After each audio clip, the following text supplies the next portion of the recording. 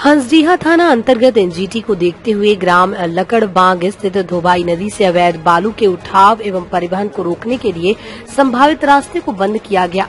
वहीं बालू उठाव को लेकर एनजीटी के द्वारा 12 अक्टूबर तक रोड रोक लगा दी गई, जिसको लेकर हंसडीहा थाना प्रभारी जितेंद्र कुमार साहू के द्वारा हंसडीहा थाना अंतर्गत ग्राम लकरबाग धोबे नदी से अवैध बालू के उठाव एवं परिवहन को रोकने के लिए संभावित रास्ते को जेसीबी के माध्यम से ट्रैक्टर आने जाने वाले रास्ते को गड्ढे में तब्दील कर बंद कर दिया गया।